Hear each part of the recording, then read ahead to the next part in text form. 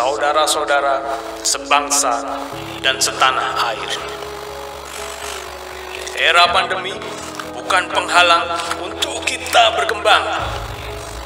Sudah banyak saudara kita yang membuktikan. Kerja dari rumah sambil ngopi dapat transferan sana sini.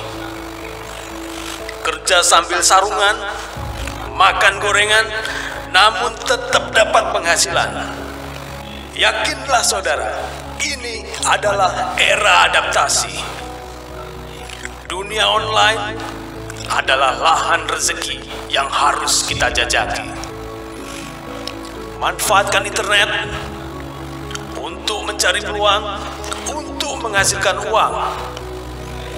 Bangkit saudara-saudara sekalian, kurangi rebahan, perkaya wawasan, tingkatkan penghasilan.